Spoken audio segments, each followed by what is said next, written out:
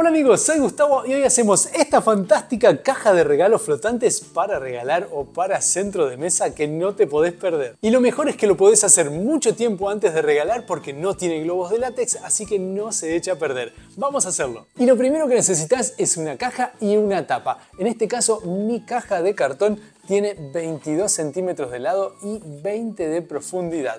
Y la tapa, no le cuentes a nadie, es un poquito más grande, mirá, me sobra un poquito, ¿eh? tiene unos 30 centímetros de lado. La quiero más grande porque abajo quiero poner varios corazones. Lo que sigue ahora es unir esta caja con esta tapa. Vamos a hacerlo. Y las voy a unir con este pequeño caño de aluminio de un cuarto de pulgada. Esto viene así en rollos, para desenrollarla la apoyás así al caño y tenés que girar el rollo ¿Ves? Lo, sostenés ahí y girás y entonces el aluminio va quedando bien recto. Vamos a utilizar un metro diez de este caño. Para cortarlo es muy fácil, mira, voy a medir primero un metro diez por acá. Aproximado es, ¿eh? Por aquí. Y aquí lo voy a tener que cortar. Para cortarlo, esto es muy fácil de cortar con una sierra cualquiera o con una pinza o también podés utilizar una herramienta para cortar caños. Mira, esto lo colocas así, lo abrís, apretás y ahora girás alrededor y así mágicamente lo corta y además queda muy prolija la terminación. Y ahora vamos a darle forma. Para eso voy a tomar esta pinza y el aluminio es muy blando, así que lo voy a tomar de acá y simplemente lo voy a ir doblando. Mirá qué fácil que se dobla. Con la pinza se dobla fácil, pero tiende a cerrarse en esta esquina. Así que también lo podés hacer con la mano. Mirá, voy a dejar aproximadamente unos 10 centímetros o 12 ahí y voy a volver a doblarlo, pero esta vez solo con las manos. Mirá qué fácil de doblar que es. Voy a dejar otros 10 centímetros más y lo voy a volver a doblar de nuevo. Formando una especie de base triangular. Y ahora voy a volver a doblarlo hacia arriba. De esta manera voy a formar una base que sea como un pie que va a estar sobre mi tapa. Luego con una cinta ancha vamos a unir los dos caños.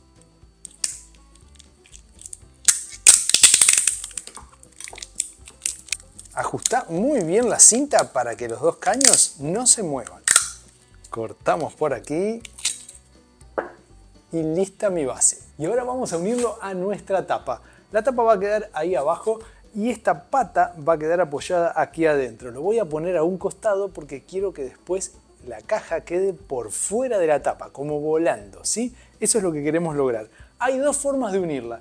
Una es atarlo. Lo podemos atar con globos 260 o con precinto, ¿sí? Y la otra es pegarlo. Vamos a hacerlo de las dos maneras para que lo veas. Voy a unir con este globo 260 por aquí y luego por aquí. Voy a marcar estos dos puntos y también estos dos puntos. Gracias, Joe Marley, por la lapicera que me regalaste. ¿eh? Muchas gracias. Hagamos un orificio por aquí. Y voy a pasar mi 260 a través. Luego simplemente ajustamos y atamos con dos nudos simples. Lo mismo voy a hacer del otro lado. Ahora lo que voy a mostrarte es cómo hacemos para pegarlo. La silicona caliente cuando lo colocas sobre el aluminio, vamos a colocar ahí y vamos a dejar enfriar, luego se puede despegar.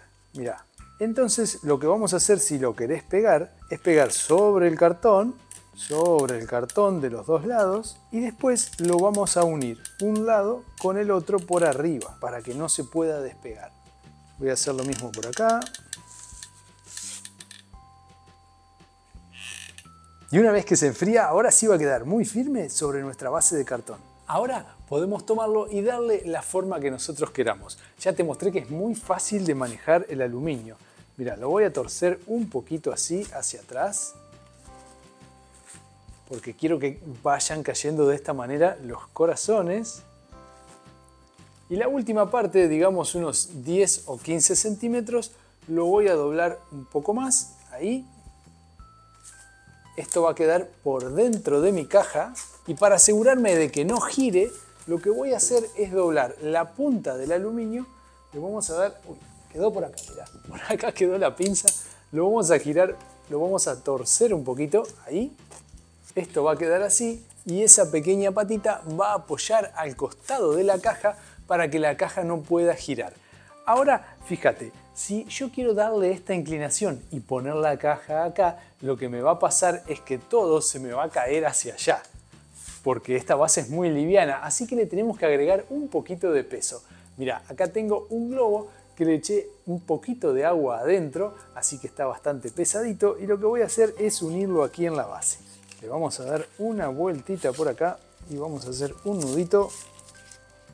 Así mi base va a ser más pesada y ya no se va a caer. Antes de unir mi caja aquí arriba, vamos a adornarla un poco. Mira, tengo esta cinta. Lo que voy a hacer es pegarla aquí arriba. Damos toda la vuelta. Y la vamos a pegar también por aquí. Damos el excedente de los dos lados. Y vamos a hacer lo mismo en el otro sentido. ¿Y por qué no le agregamos un moño? Mira, hacemos un rolito pequeño acá, vamos hacia un lado, hacia el otro, otra vez, acá, un ganchito, cortamos. Y listo. Vamos a pegarlo por acá. Con otra cinta, doblamos así, cortamos por acá, ahora la doblamos al medio, cortamos de vuelta en diagonal. Y ya tenemos dos tiritas para agregarle debajo. Y listo nuestro moño. Ahora sí tenemos que unir la caja a nuestra pequeña estructura. ¿eh? La vamos a colocar así y la vamos a pegar con silicona caliente. Fíjate cómo voy envolviendo el caño de aluminio. Es importante que el silicón pase por arriba. Lista mi caja voladora, ahora tengo que hacer mi cascada de corazones. Pero antes voy a embellecer la tapa de abajo antes de apoyarle mis corazones con este papel celofán. Mirá lo que voy a hacer. Primero voy a cortar solo los corazones de los costados. Y ahora los voy a dividir en cuatro, doblando al medio y cortando por aquí. Y otra vez doblamos al medio y cortamos así. Ya tengo ocho partes iguales. Toma cada papel, doblale la punta hacia adentro para que sea un poco más resistente y lo vamos a pegar así, uno en cada esquina y ahora uno de cada lado. Y así queda mucho mejor. Lista nuestra hermosa base, ahora sí vamos a pasar a inflar corazones. Mira, acá tengo uno, lo vamos a inflar como siempre, colocamos aquí dentro de la válvula el inflador y le damos. Pero yo no los voy a dejar así porque tienen el pico, tengo que esconderlo.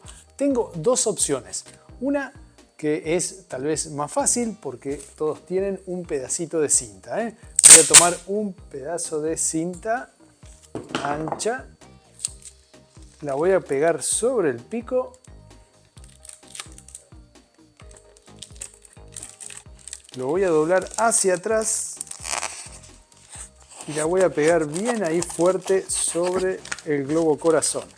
De esa manera el corazón va a quedar sin el pico hacia abajo. Otra opción que tenemos que queda más prolijo, pero en este caso no voy a poder reutilizar el globo luego, es sellarlo, ¿sí? simplemente sellarla.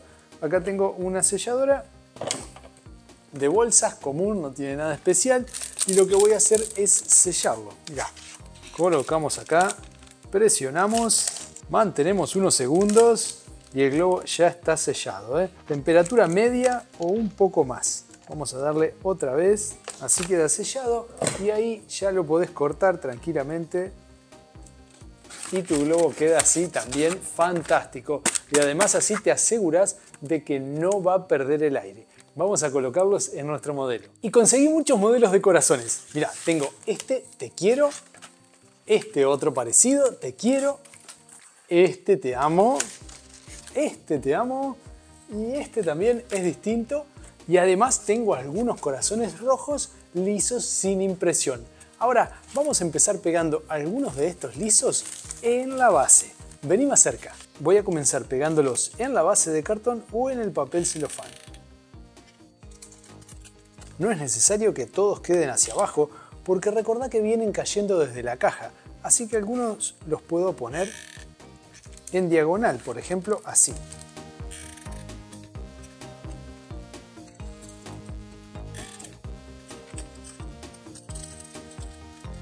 Y ahora voy a pegarlos directamente sobre el caño de aluminio. Recordá que cuando pegues en el caño de aluminio vas a necesitar ponerle todo a la vuelta para que no se pueda despegar, ¿sí? También voy a pegar los corazones entre sí. De esa manera voy a ir formando una masa compacta de corazones. Voy a colocar otro en este costado. Un poco en el caño de aluminio y un poco en los demás corazones. Continuemos hacia arriba.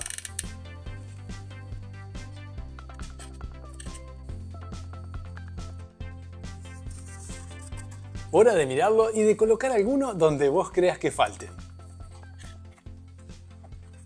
Y ahora unos corazoncitos más pequeños para tapar todos los lugares donde por ejemplo se vea el caño de aluminio o por ejemplo aquí abajo que me gustaría tapar la separación que hay entre estos dos globos.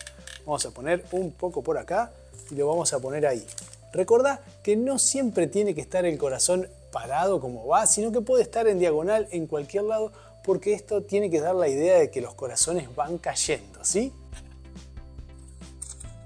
Y mira cómo va quedando nuestra caja de regalos flotantes. ¿Se le pueden agregar más cosas? Por supuesto que sí. Ahora tenés que dejar volar tu imaginación.